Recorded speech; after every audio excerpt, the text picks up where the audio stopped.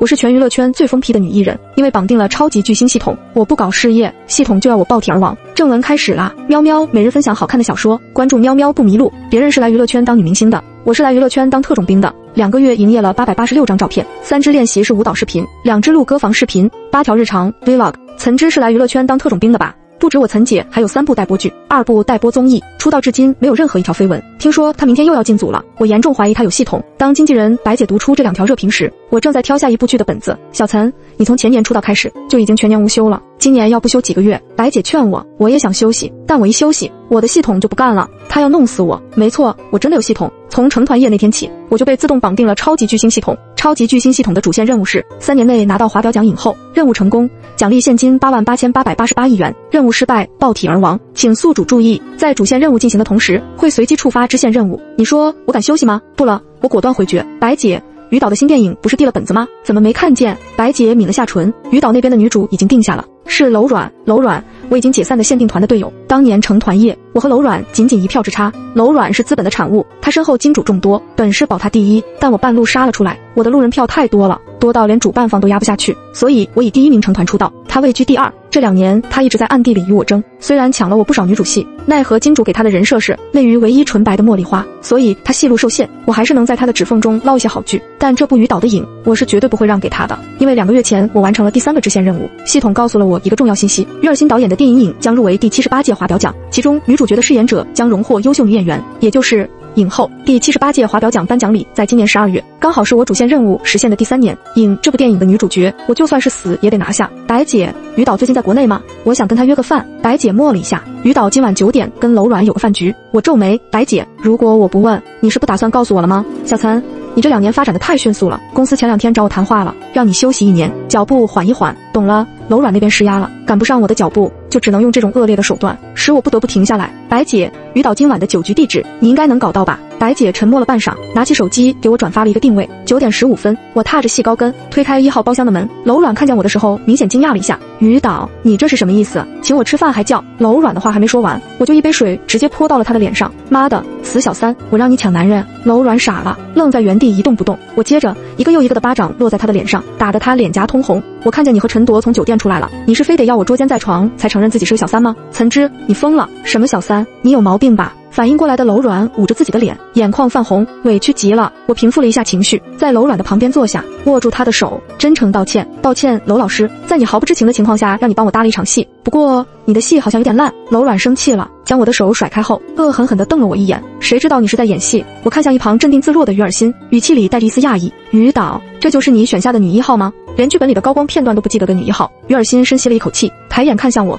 岑之，不可否认你的演技很好，也跟影中的女一号很贴近。但楼软是投资方指定的女一号，我没得选。还有影的剧本是谁拿给你看的？我给的。我还没回答，就被人抢答了。包厢门再次被推开，挺阔的身影和清冷低沉的声音同时出现。于导有考虑换的投资方吗？两人朝着声音传来的方向望去，于尔心立马站起了身来，声音里还带着一丝惶恐。裴裴总，你怎么来了？裴恒顺势在我的旁边坐下，神色淡淡。岑小姐让我来，我便来了。裴恒，京圈里最有权有势的企业家，当年白手起家，直接秒杀了京城鼎盛时期的所有企业，从万千企业中杀出重围，活到今日，他在任何圈子里都能呼风唤雨。成团夜后的第六个月，我触发了第一条支线任务，任务是三个月内粉丝活跃度达到百分之八十，金圈大佬裴恒将实现自我攻略。实现自我攻略，也就是爱上我。我连夜查了一下关于裴恒的资料，在知道他只手可遮半个娱乐圈时，我第二天就连发了八十八张美图营业。那三个月，我上了无数次热搜，几乎二十四小时都在微博活跃。在我兢兢业业的努力下，终于第三个月的时候，任务完成了。当晚我就接到了一个陌生电话，是岑之小姐吗？裴先生想约你吃个饭，不好意思，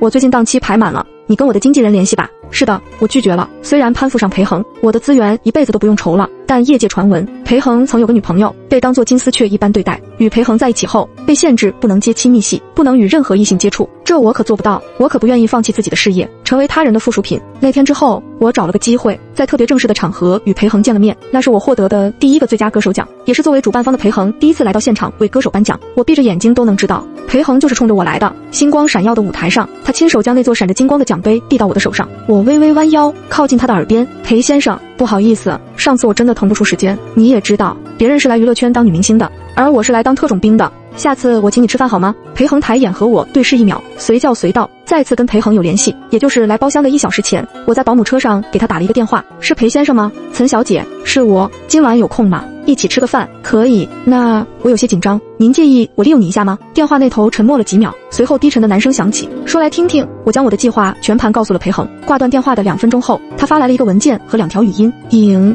dogs，我不在京城，会晚你几分钟到，有事打电话。裴恒不在室内，在外地。他现在为了我赶回。我承认，这一刻我紧张了。于导，贵圈现在用人都不看演技了吗？裴恒眸光无温，嗓音慵懒又带着一丝讽意。裴总，这人也不是我能定的。我要是没用他们指定的演员，投资方撤资了，我这电影也没法拍了。于尔新手忙脚乱地跟裴恒解释。坐在我旁边的楼软也有些坐不住了，面露难色。毕竟整个京城没有人不畏惧裴恒，我会让他们撤资，我来接盘。开机仪式就定在明天。女一号岑之，饭还没吃，事情就办完了。裴恒办事还真是主打一个效率高，废话少。好，好，本来我就是要给岑之递本子的，不当女一号，我这部电影真成废片了。于尔心赶紧连连附和裴恒的话，拍我的马屁。裴恒没理他，自顾自地看了眼手腕间的表，接着他侧身贴近我的耳边，低声道。我还有事，先走了。微热的气息撩过耳际，我的耳朵有些发烫。本以为裴恒帮了我这么大个忙，肯定会有所求，我连今晚婉拒他的借口都想好了，他却一声不吭的直接走了。看来在这纸醉金迷的上层社会，还是有人活得清醒。裴恒走后，我又握住柔软的手，惺惺作态。不好意思，小楼，于导说你德不配位，这个女一号。我就先收下了。还有，忘记告诉你了，剧本里就只有一个巴掌，剩下那些是替你上部戏的对手演员还给你的。楼软上部戏也有扇巴掌的戏份，本可以一两次就过掉，他硬生生 NG 了十几次，害得对手演员脸部被打的软组织损伤了。最重要的是，这个对手演员还不是别人，是出道那年以第九名出道的我们的前队友，内娱唯一纯白的茉莉花，可真纯白呢。楼软气急了，可他又不敢伸手打我，因为他那柔柔弱弱的身子根本打不过我，他只能愤愤地用言语来羞辱我。岑之说的像你比我高贵多少一样，我有金主，你不也有吗？他刚刚是不是在你耳边说，先去酒店等你了，让你快点过去？裴恒帮了你这么大的忙，你今晚还不得被玩死啊？我冷笑一声，楼软。圈内谁人不知你在天马大厦顶楼有一间套房，每周二晚顶楼的灯彻夜长明。我有时收工从那下面路过，我会想，同为女性，如果我有足够的能力，一定不会让你沦为资本的玩物。楼软好像没太听懂我的话，你什么意思啊？我话锋一转，嘴角的笑意藏都藏不住。不过一想，当年好像并没有人强迫你，是你自己主动爬上了各位老板的床，看来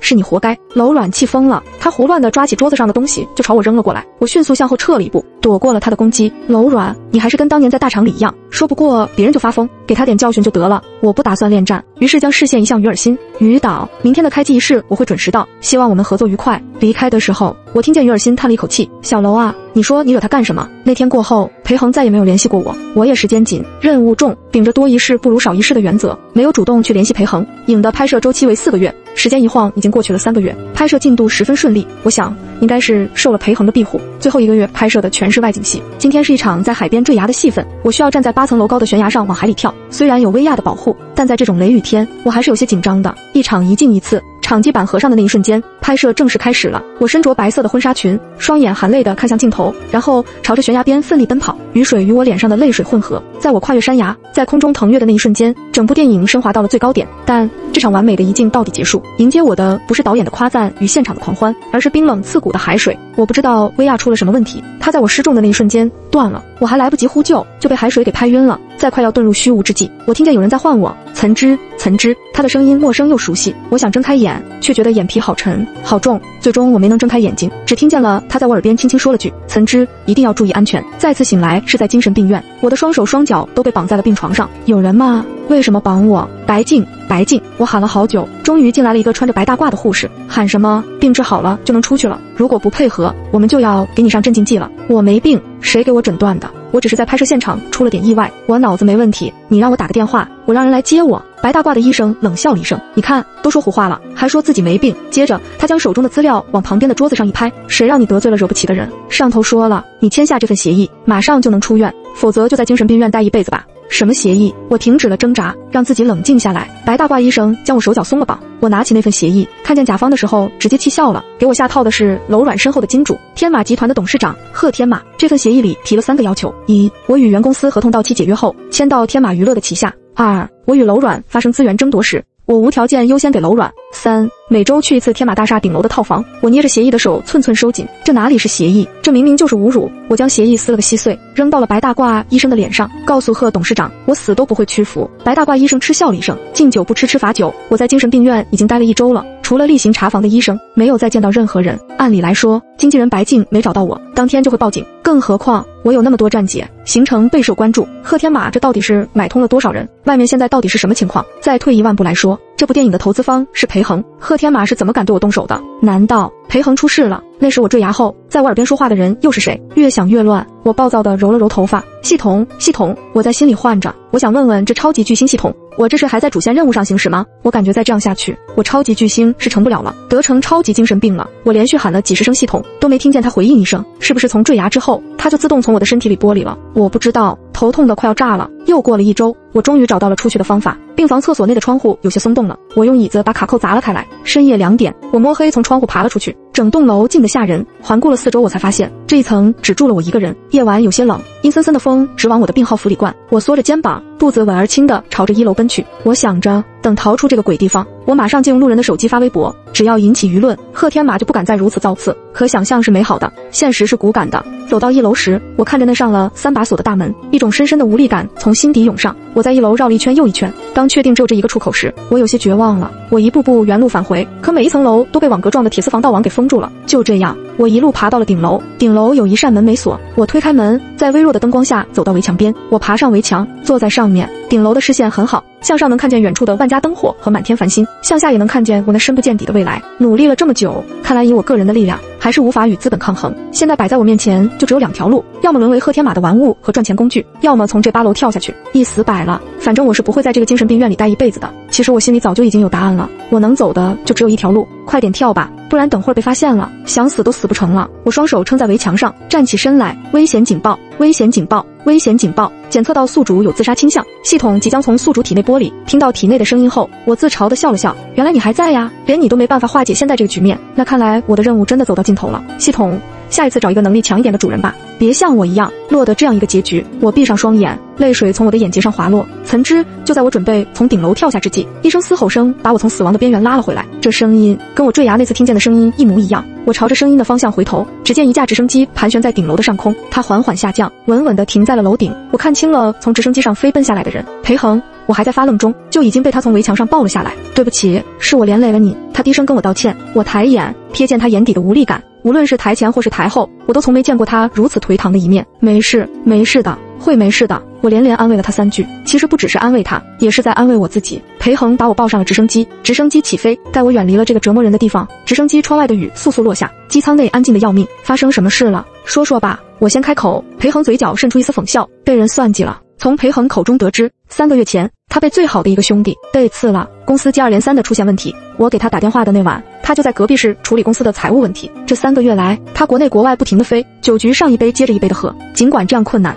他还是帮我拿下了瘾这部剧。听到这里，我有些动容，发誓只修无情道的我，居然动了恻隐之心。我想。如果当时我没有完成裴恒这条支线任务，他是不是就不会遭遇这些？裴恒说，贺天马要收购他名下的所有产业，他不同意，贺天马就把爪子伸向了我。我的威亚出现问题，就是因为贺天马让人动了手脚。收到贺天马发来的坠崖视频时，裴恒正在去往机场的路上。他说，幸好，幸好他来得及时，给我做了心肺复苏后，我就恢复意识了。我轻轻摸了摸嘴唇，心肺复苏嘛，我完全没了印象。裴恒说，当时发现我恢复意识后，看见我的经纪人白静在附近，他就离开了。原本以为贺天马的报复到此就结束了，谁知道他想要的不仅仅是给裴恒一个警告，他还想要我这条命。看来连白静都已经被他给收买了。我把这两周在精神病院发生的事也告诉了裴恒。当听到协议的时候，我能看到裴恒的眼底快要溢出来的怒火。你最迟还能撑多久？我数着日子开口问。现在资金链已经全面断裂，我最多最多支撑到年底，够了。说完，我沉默了半晌。你一定要等我，我会有办法的。裴恒低着头，小声道。岑之，凭你这份职业是挣不到我所需要的资金的，你信我。我目光坚定地看向他，裴恒没说话，我们再次各怀心事的陷入了沉默。良久，我看见直升机已经快要进入京城的上空，我们去哪儿？我问。我家。裴恒回，不去了，去白府林树。裴恒与我对视一眼，那是白静家。我抢答，裴恒不禁蹙眉，白静已经被贺天马收买了，你找他，我手上有他的把柄。我又沉思了两秒，我需要一部手机。裴恒眨了眨眼，没多问，将自己的手机递了过来。密码？我轻声问。零二零七，我眼睫轻颤了一下。二月七日，我的生日。我打开手机后，将他的 ID 退出，登录了自己的 ID。我应该庆幸当时将所有的证据进行了备份。可以打开相册吗？我事先询问了一下，怕侵犯到裴恒的隐私。裴恒眼神落在我的脸上，隔了好一会儿才道。可以得到允许后的我点开相册，一张张我的照片映入眼帘。要不是这全是第三方视角拍摄的照片，我还以为是我手机的自拍全都同步了过来。我没忍住内心的好奇，点开了几张照片。这张是我两年前的成团夜，这张是我拍摄的第一部网剧现场。可这个时候，我还没有触发第一条支线任务。我猛然抬头看向裴恒，他视线早已从我的身上移开，望向了窗外。难道他爱上我，不是因为完成任务后的奖励？裴恒。你什么时候开始喜欢我的？我开口问，声音里带着一丝不易察觉的轻颤。很早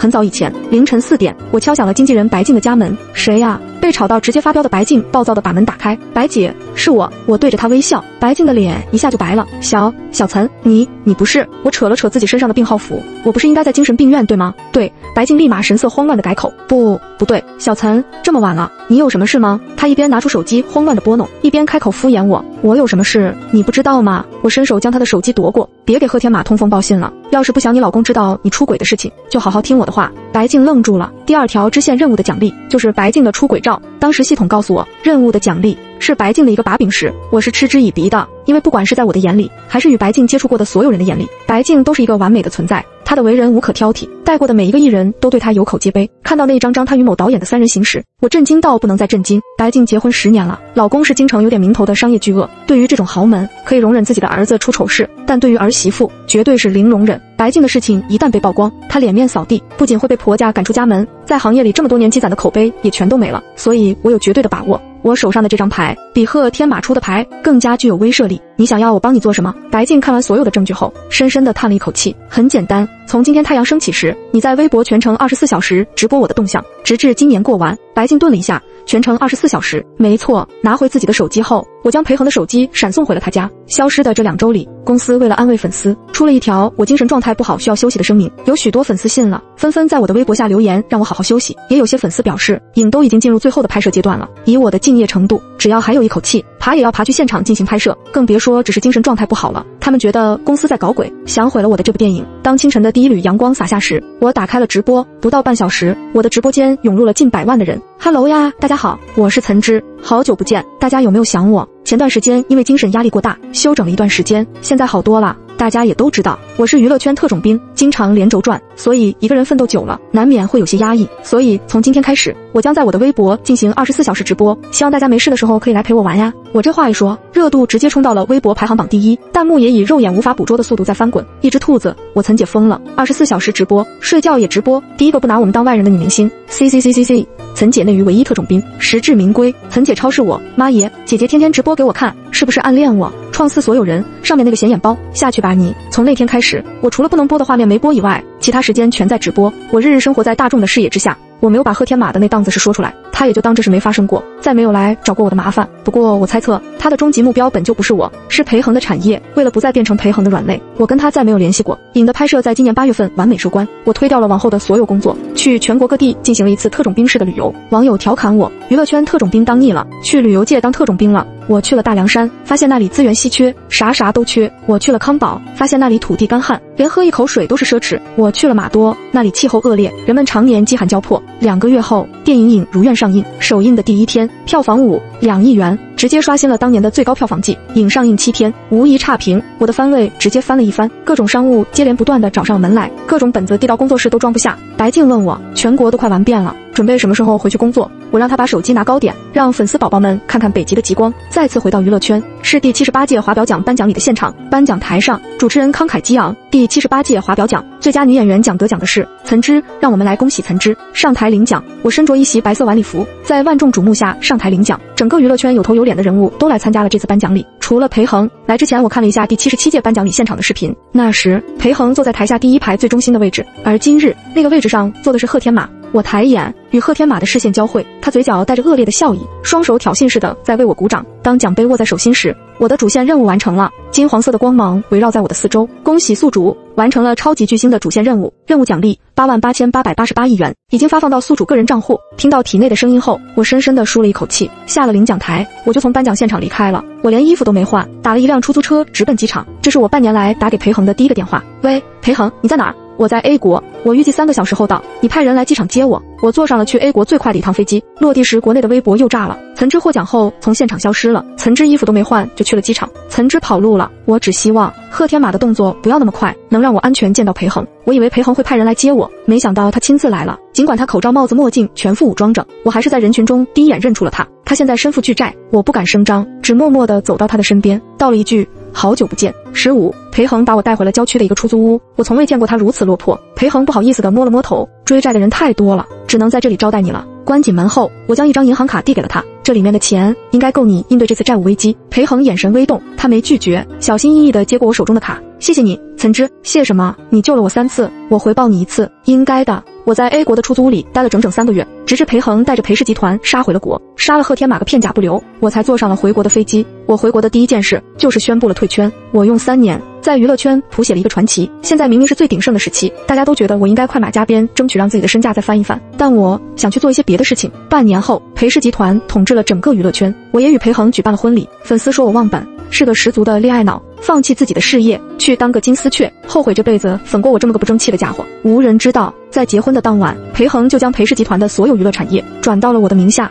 裴之娱乐大厦的顶层。我看着面前哭唧唧的楼软，有些头疼。你哭什么？楼软泣不成声。岑之，你不想让我活了就直说。你现在不让进行权色交易，我已经两年没接到戏了。岑之，你到底讨厌我哪里？我改还不行吗？我笑了，开什么玩笑？第一名为什么要讨厌第二名？不过你要真想拍戏的话，我话锋一转，我在山区刚修建的希望小学要竣工了，刚好需要一个女主角去拍宣传片。楼软提着一口气，刚想骂我，又抿了抿唇，止住了。片酬多少？他问我耸肩，就正常价格。他撇撇嘴，勉勉强强答应，行吧，条件比较艰苦，就辛苦你了，小楼。我笑得灿烂。任职五年后，我被十几个知名导演还有赞助商围攻了。他们把我架在会议室里，投票表决要废除我定下的规矩，同意废除所有剧本选角需公开投票选举这条规定的，请举手。全场除了我以外，全都高举了双手。我点了点头，对他们的投票表示赞同。你们说的很好，但我有一票否决权。这场会议，他们每全票表决一个，我就一票否决一个。会议进行了三个小时，依旧停留在原地，没有任何进展。我这个年轻人都累了，这群老家伙还在唧唧歪歪，没办法了。